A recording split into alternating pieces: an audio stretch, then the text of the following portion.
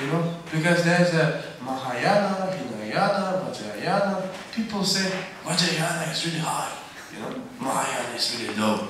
and then, you know, I think that, you know, and then like some, uh, when, when I was in Korea, uh, the Mahayana is really, really strong there, you know.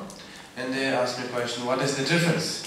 And I said, you know, what is the difference? I don't know, because we do the same prostration, and there's a Buddha, and we practice Dharma, and we want to benefit other sentient beings.